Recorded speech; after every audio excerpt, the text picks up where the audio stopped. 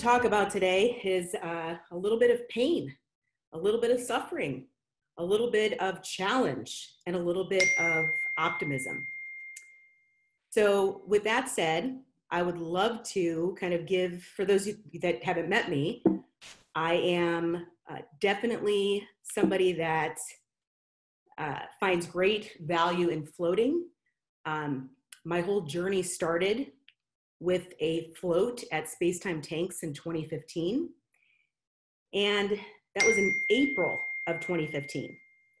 Since then, I've opened four centers, and it has been one hell of a ride, as we know. So, this slide here, uh, hopefully you can all see it, kind of describes the journey.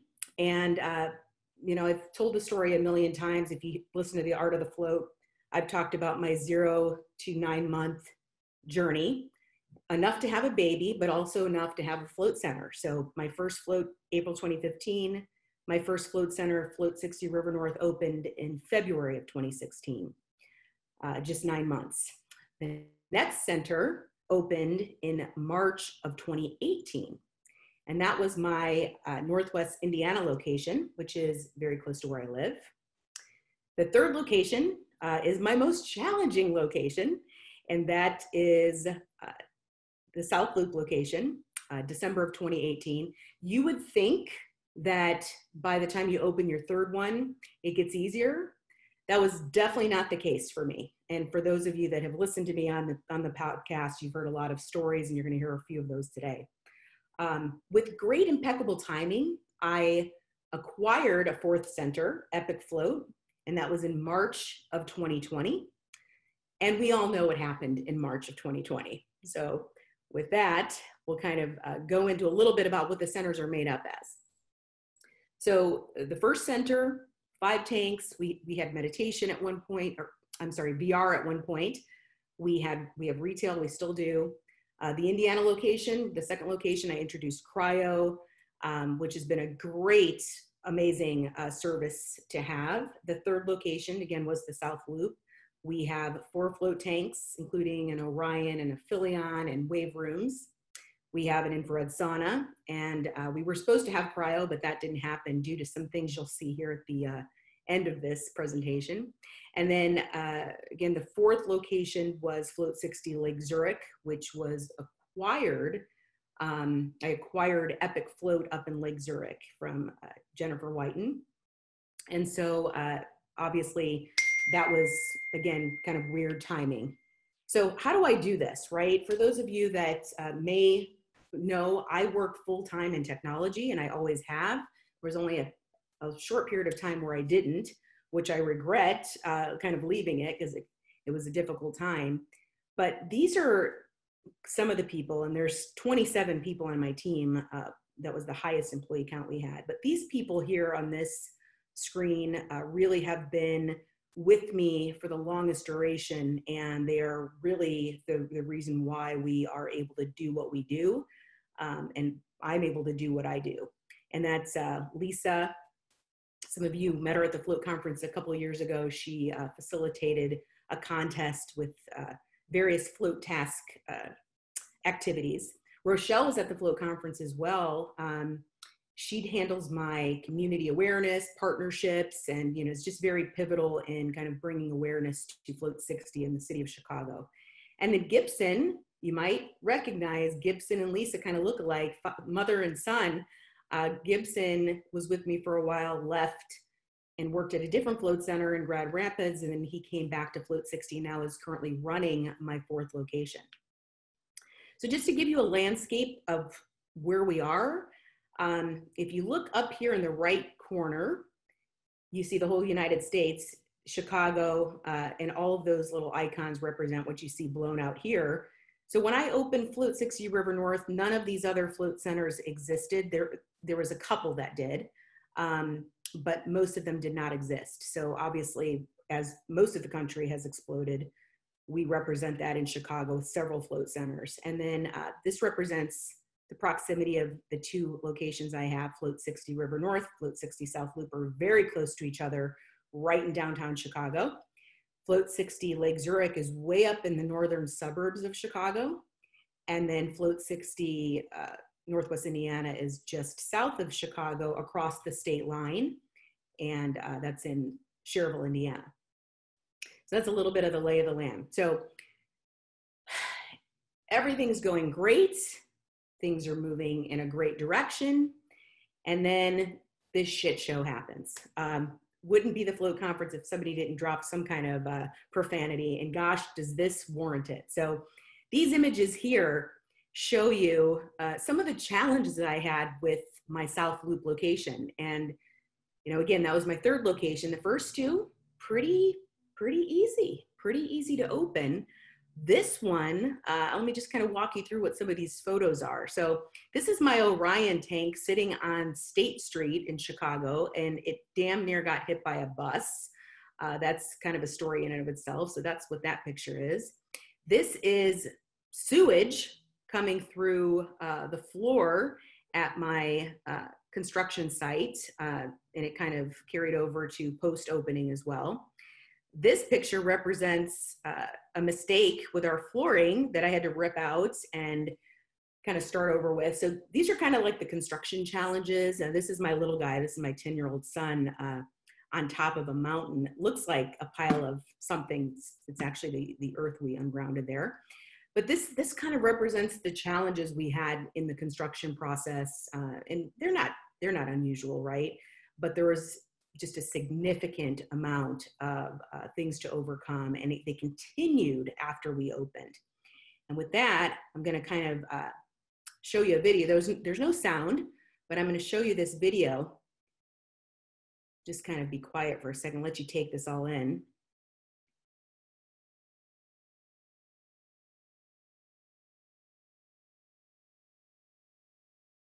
Yep, ceiling tile falling from the ceiling with along with my security camera. Little insulation, nothing like a little rainfall during a polar vortex at your brand new location. The uh, track light falling down.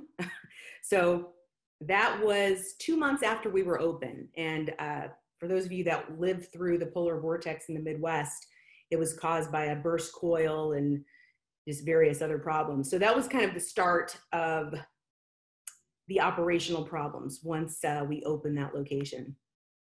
This picture represents something that's very recent. And for those of you that uh, follow the news, uh, Chicago, not unlike other cities, have been impacted by the civil unrest. And in this case, this is a you know picture of somebody coming through my space with a baseball bat. And so this this location really has had its trials and tribulations, uh, and we're not really sure what's going to happen. So not to be a Debbie Downer on all that, but I promised I would talk about the not so fun side of our business. What did we learn in all that? Well, you know, scaling is hard. It is not easy. The notion that uh, opening one gives you all the information you need to be successful in the other is just absolutely false. Every location has its own dynamics. Every location has its own challenges with whether it's the real estate, whether it's the construction, whether it's the, you know, things that are going around in the city. Um, so again, no two locations are ever the same. They're not even close. And two locations are, yes, twice as hard as one, but four is 10 times harder than one. Um, so it, it, definitely is a different dynamic that I've learned. Um, thought that it would be, you know, a little bit easier to scale. I definitely learned that uh, having strong financials, and when I say strong, I don't mean, you know, you're bringing a lot of money to the bottom line. I that's definitely, you know, part of what's helpful. But I'm speaking more about the the need for ongoing organization of financials to kind of wear with through all of these different uh, challenges that you have. You know, fortunately, we were ready for you know applying for all of the the assistance we could apply for because our financials were strong and organized and clear and uh, we we really got on you know the train very quickly. Um, and then you know be ready to pivot. I'm sitting here wondering what is going to happen with the fate of at least one of our locations possibly two? And so i'm constantly thinking in my mind how are we going to pivot from this? How do we modify? How do we you know, make adjustments. And so that's definitely a lesson learned uh, that's not new, but something that I'm, you know, actively thinking about day in and day out uh, every single day. So what's next? Like I said, the fate of the South Loop is unknown at this point. But to reiterate what Stephen said, I believe in my heart, people need us more than ever before. And that gives me optimism for the entire industry. I think it's going to be a challenge to get people educated again to believe that that's the case, but I know in my heart that it is. Um, I'm definitely going to be piloting new ways of doing business. This was not planned, um, but Maximum Floats is one of our sponsors, and I recently started a pilot with them. Um, I'll probably continue doing it with our other locations. So I'm trying to find ways to pivot and do things differently. I think the the industry needs it, and uh, that's just one of the examples of what we're doing. Um, and the, the last one is just investing in key people. Um, I've been doing that since the beginning. I could not do what I do without the team that I have and the support of the industry. Uh, the Art of the Float podcast is so uh, important to me, uh, not just for the information, but for the, the support I get from my co hosts, and shout out to all of them. It is uh, very important to invest in your own education. So I would, you know, definitely continue to to do that, um, and I will continue to do that, and just continue to learn from everybody that I can. Um, so those are kind of the lessons learned. There's much more to the story, but this is a preview event. And uh, the, the goal of doing this event is to give you a feel for how the format will work. And hopefully, you know, just in this small amount of time, you get some insight that if you're going through pain, you're not alone. Uh, it happens to the best of us, right? So uh, I'd like to just before we go to questions and answers, I'd like to thank everybody from the Float Conference uh, as well. Everybody has put in such a, a, crazy amount of work to pivot and get to this new way of interacting, and it's it's terrific. So I'm excited about the think takes that are coming up, and hopefully you guys will participate, and we will see you in September.